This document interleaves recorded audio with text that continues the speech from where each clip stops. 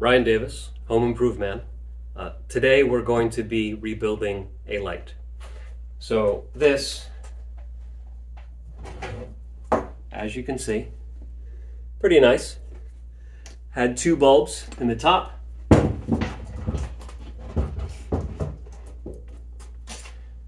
Two bulbs were of this basic setup.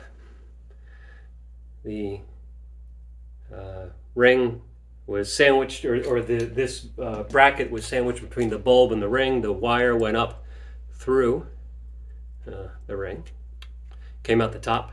Chain attached here goes up to the ceiling. Wire winds its way through the chain up to the power. Now, the chain was a little dingy, not not bad enough that, that it really needed replacing, but the wire was unsafe. The wire uh, was painted. It looked like there was some tape underneath the paint.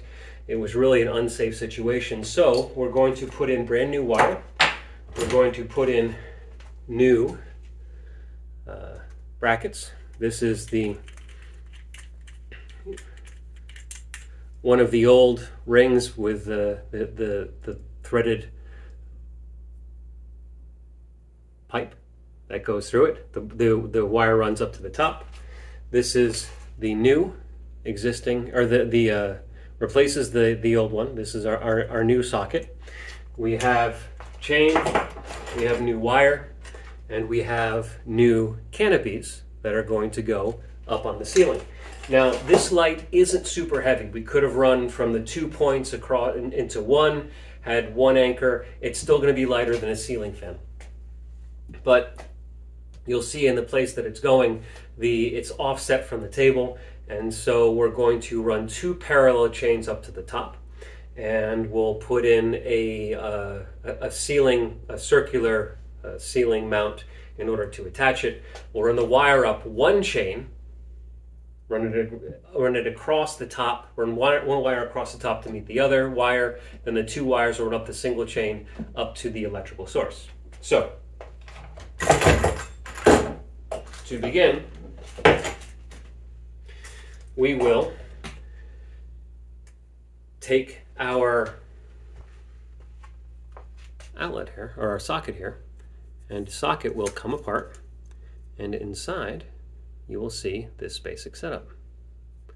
So we've got two different uh, screws, and the one screw uh, goes to the that little uh, uh, flap of metal in the center. The other screw goes onto the threads. The threads completes the circuit. The threads are part of the circuit.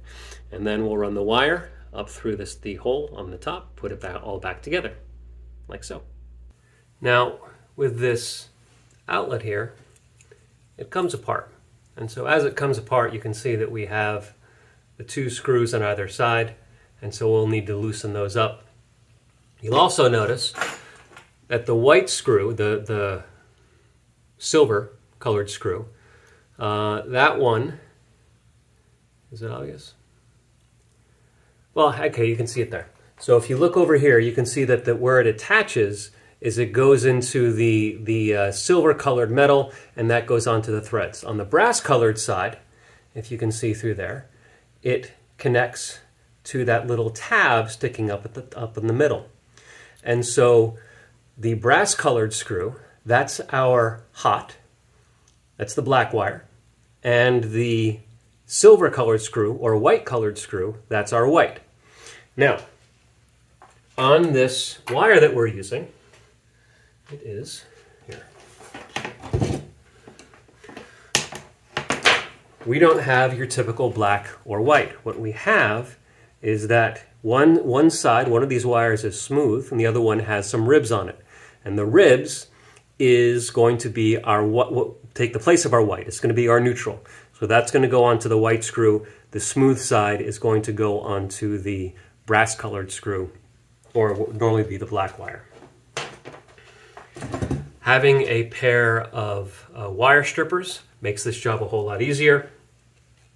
As you are stripping the wires, you'll notice that there are uh, different size gaps and there's numbers next to them. And if you know the number of your wire, you can just go to it. Or what you can do is start at a big one and start to work your way down until you find the, the right distance or the, or the right size hole. You put it on, twist it a little bit, and then you'll see that the wire will then come, or the, the coating, the rubber housing will then come free. And so in this case, we're working with the uh, 14 or 16, a little more than that. I didn't cut off enough on the first one. I was, I was just testing it out. I should have cut off a little more. And I needed to cut off a fair amount because we are wrapping it around the screw. Some of the ways in which you attach a fixture, you'll stick that into uh, a receptacle. In this case, we're wrapping it around. You want to make sure that you go through the top before you attach it to the sides. And the sides are here. There we go. And when you wrap, you want to wrap in the direction that the screw is going to turn so that as the screw turns, it pulls the, the, the wire tightly around it. Uh, make sure that I get the right one. Where's the... Okay, so that one is the ribbed. That ribbed is going on the white.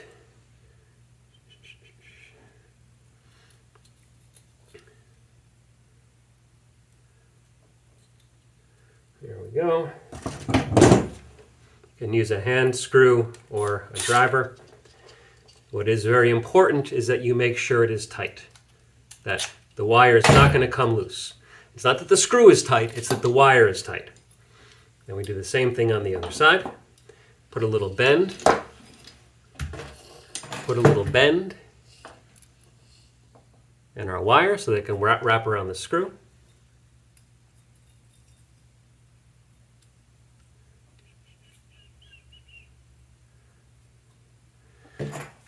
And tighten it.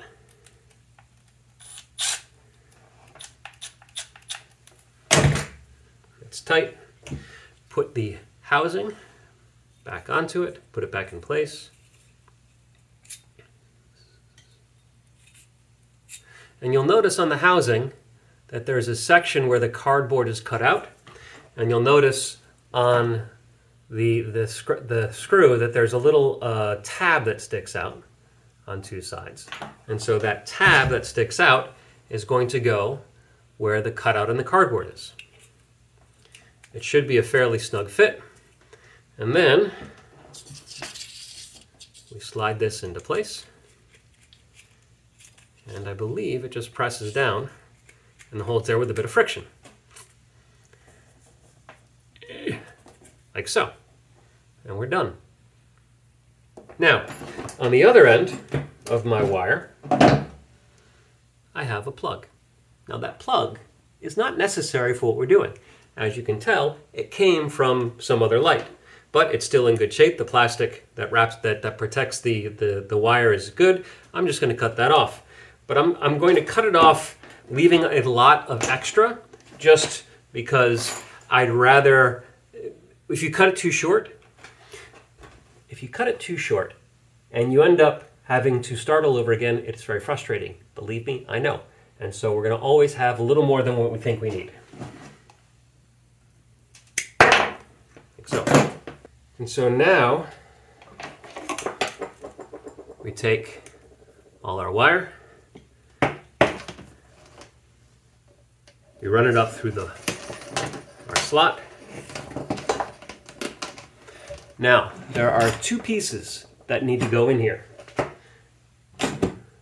And they are both here. One is the threaded rod, and the other is our ring. These come in from the top. We could have attached this first, of course, but we're going to do it second.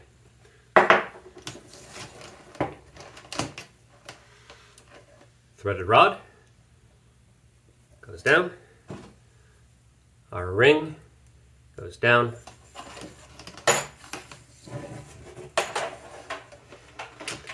And then we run the threaded rod onto the socket, give it quite a few turns to make sure that it's not going to come out at some later date. And then we run our ring, turning it onto that threaded rod. I want to get the bracket of the light sandwiched securely between the ring and the socket.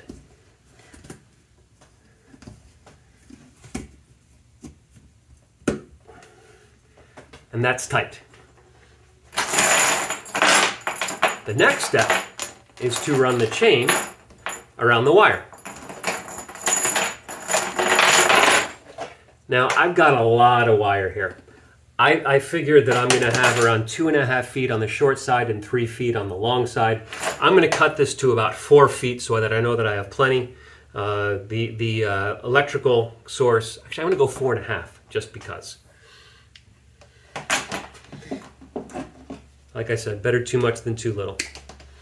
Now for the chain,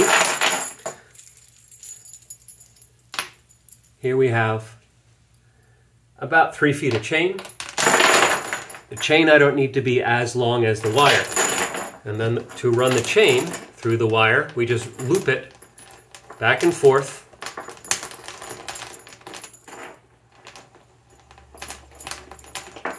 The chain or the, the wire gets looped back and forth Allow the, the chain to get loose so that you make sure that you're not twisting the chain in any weird shape as you run it through.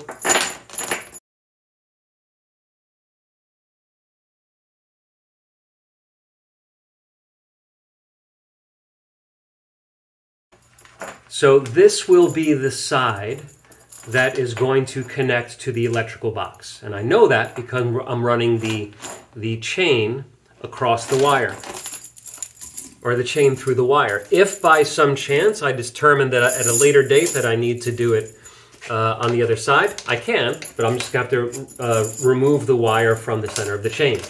And then the last step here is to connect this link in the chain to the ring on the bottom. Now some of the kits, down here, hi, uh, some of the kits that you buy, if you buy a, a kit that has a chain, it's going to have a link that you can open and close with a, a threaded nut.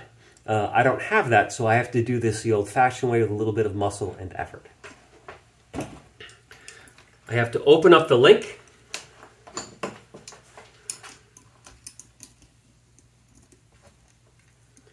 And it's easier to twist it open than to pull the two sides apart. But once I twist it open, I'm going to take it apart to show you like that.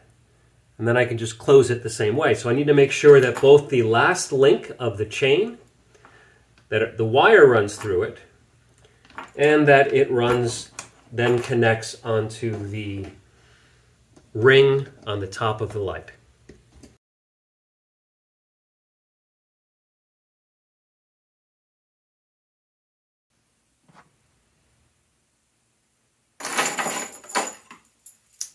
Here we go. One full length. Lots of chain left, left over, lots of cord left over, and so I, once I put it in place, I have uh, created a little insurance that I won't run out of either. Now, the other side is going to be a little bit different. On the other side, uh, the wire, as I said, is not going to run up to the chain. I'm going to run it across the back here and then connect it up over to this one, run it through the chain. I could splice the wires together up top here and have just one wire going up the chain, but that's going to look ugly. And so I'm going to run the two wires up the chain and then connect the two wires to the light up at the top. And the, the fewer uh, wire nuts and, and wire connections that you have, the safer the whole setup is. I'm going to do one thing a little bit differently on this round. I'll still be able to take care of it on the other side, but this has a little set screw, you can see, and that's designed to hold the threaded rod in place. And so before I assemble this whole piece, I'm going to put that set, the, the th threaded rod on here and the set screw, tighten it down uh, so that it's going to be secure. Now it is still important that I do the other side as well, um, but I, it occurred to me as I was looking at everything, it's going to be easier to do it unattached to the light to the lampshade than it will be attached.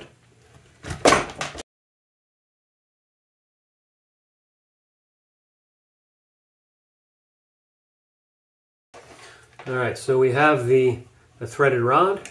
We throw it in, a handful of turns to make sure it's fully set inside of it. And then we just tighten down that set screw. And that ain't going anywhere.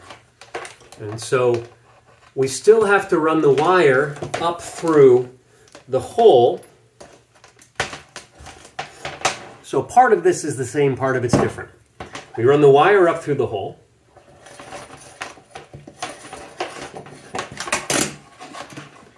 We put the ring on the wire, so the, the wire comes out of the top of the ring.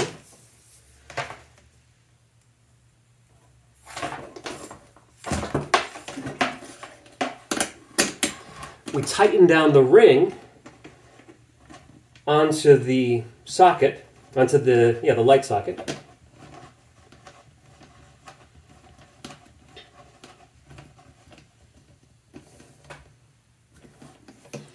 This wire is going to run across the back. I'm going to use, I'm going to put some uh, little uh, hooks on place to hold it down there against the light, against the, the back here so it doesn't hang across the middle, which would be very ugly. We don't do ugly around here.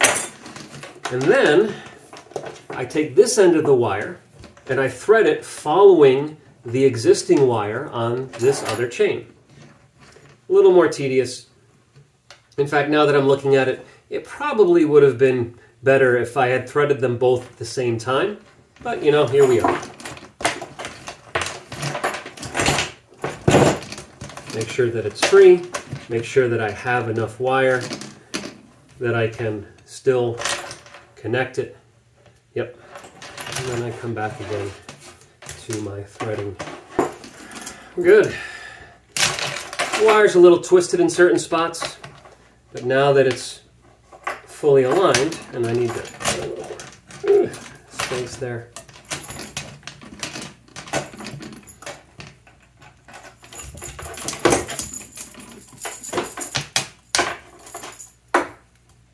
What's important is that the two wires follow each other. That there's no point where the wire, one wire goes on the outside of a link and the other one goes on the inside of the link because it'll make it'll start to bite down and create a little bit of tension in there. And remember that the the, the chain is going to find its own, uh, I guess you could say, the, the, weight the weight of the light is going to pull the chain straight, and then the, the, if you've got a little bit of looseness, a little bit of play in the wire, it'll find where it wants to go. Now we do have to attach the other chain. The other chain, of course, attaches to this ring and doesn't run through the wire.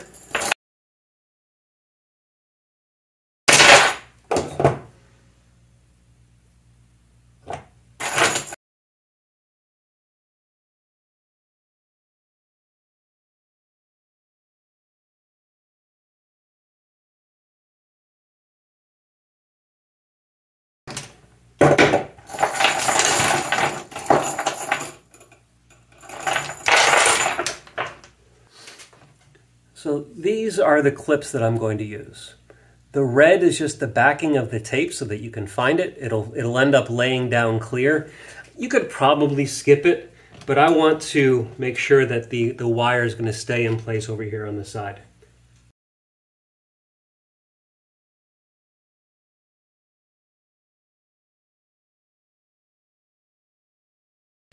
You can see how it is without the tape on it. It's going to be pretty invisible.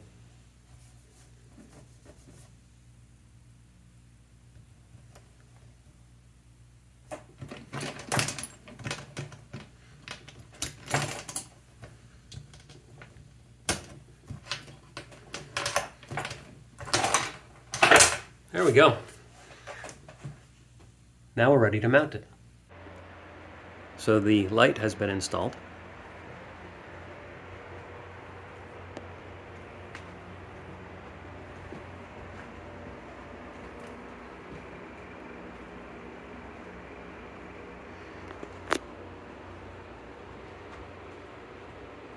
Of course you see the cords coming down the one side.